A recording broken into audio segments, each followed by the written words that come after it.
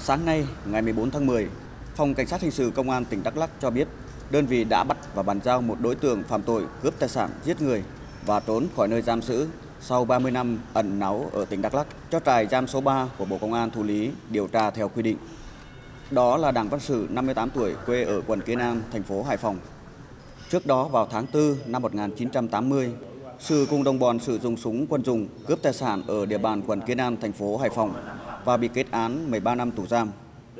Năm 1988, khi đang chấp hành án tại trại tạm giam số 3 của Bộ Công an ở huyện Tân Kỳ, tỉnh Nghệ An, do mâu thuẫn, Sử đã sử dụng một chiếc thìa được mài nhọn đâm bản tù cùng buồng và bị tòa án nhân dân tỉnh Nghệ An kết án 20 năm tù giam về tội giết người.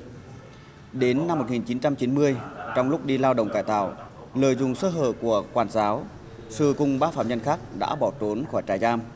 Ngày 26 tháng 6 năm 1990, trại giam số 3 của Bộ Công an đã phát lệnh truy nã đặc biệt đối với Sử về tội trốn khỏi nơi giam giữ.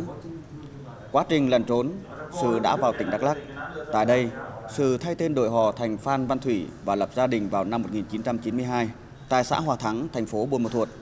Đến năm 2009, Sử tiếp tục đổi tên thành Đặng Viết Thủy để hòng trốn tránh sự phát hiện của cơ quan chức năng. Lúc mà, mà ở bên đó đấy thì là chưa có hộ khẩu ấy thì là chỉ nghe cái những cầu vốn ấy. Là có một số thì nó bảo là lên trên phố ấy là có chỗ chuyên làm chứng minh thư. Đấy thì là lên là cũng làm. Thì lên cái đấy thì làm theo nhiệm vụ thì cũng không phải khai gì cả. Sau hẹn bút để chờ nữa thì là tôi nhớ là không nhầm là ba trăm rưỡi. Đợt thứ hai đổi cũng lại ba trăm rưỡi. Có hộ khẩu ai làm cho anh? Hộ khẩu là bên lúc trường.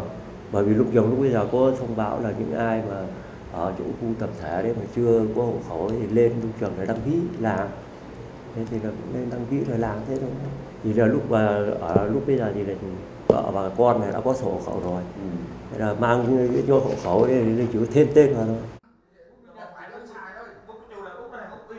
Tuy nhiên, sau 30 năm sống chui lủi, Sử đã xa lưới pháp luật. Tại cơ quan điều tra, Sử khai nhận để tránh sự phát hiện của cơ quan chức năng, sư đã tìm cách làm chứng minh nhân dân giả để thay tên đổi họ và thường ở trong rẫy vắng, hạn chế tiếp xúc với những người xung quanh.